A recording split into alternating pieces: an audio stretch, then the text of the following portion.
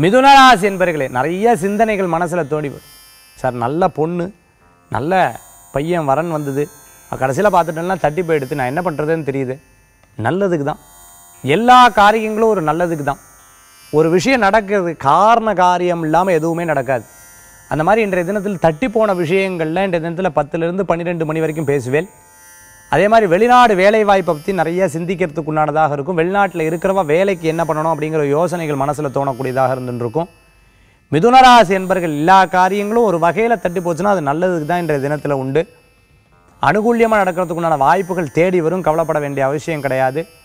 சில விஷயங்கள்லாம் பனிரெண்டுலேருந்து கரெக்டாக ரெண்டு மணிக்குள்ளே எது தட்டி போயிடுது அப்படின்னு நினச்சாலும் அந்த காரியங்கள்லாம் பாசிட்டிவாக பேசுறதுக்குண்டான வாய்ப்புகள் நிறையா இருக்கின்றது. தினத்துக்குண்டான அதிர்ஷ்டமான என் ஏழு நிற மஞ்சள் வழிபாட்டுக்குண்டான தெய்வம். மகாலட்சுமி வழிபாடு அமோக பலன்கள் தரும் அற்புதமான வழிபாடு.